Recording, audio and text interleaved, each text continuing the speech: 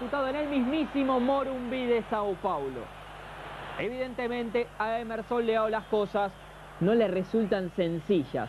Decidió armar un conjunto básicamente integrado por jugadores que militan en el medio local. Dejó a las estrellas de lado. Entonces dijo, viene Perú. Historia tranquila.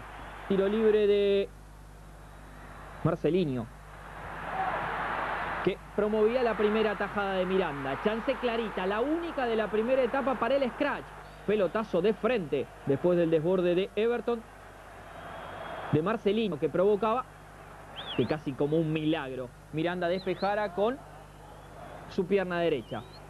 Julio César Uribe tranquilo. Leao gritándole a sus jugadores atentos, atentos por favor. En el complemento a la cancha, Juninho. Y enseguida Brasil que trataba de acceder con mayor claridad hasta el arco incaico. Definía mal Everton nuevamente pegándole de punta.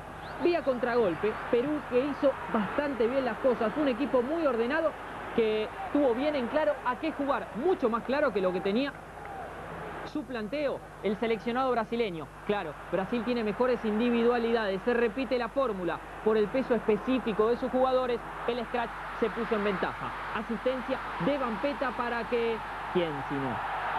El Chapulín Romario accediera al grito, al abrazo con Leao, a su octavo tanto en lo que va de esta fase de las eliminatorias sudamericanas. Le lleva uno de ventaja a Hernán Crespo y dio ventaja de varios partidos. Recuerden que Romario recién debutó en el choque de Brasil ante Venezuela. Ocasión en la que Romario se presentó, hizo cuatro goles, dijo acá estoy yo. Deja en el camino a Miranda y así a los 20 del complemento establecía el 1 a 0 que tenía gustito a definitivo. Pero como decíamos, Perú no perdió la brújula.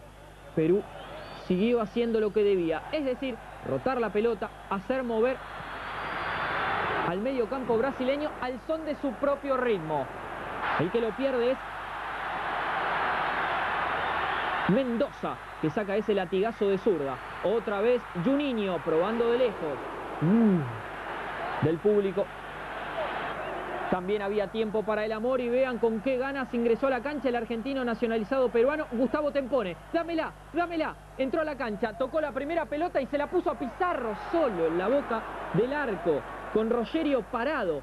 El centro delantero del Verde Bremen alemán desperdiciaba esa ocasión. De cabeza llegamos, dijo Tempone, en la cabeza te la pongo.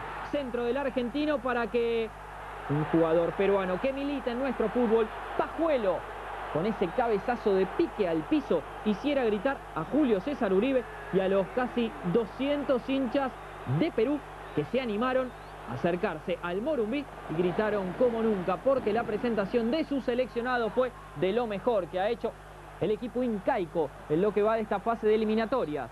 Salta solo Pajuelo.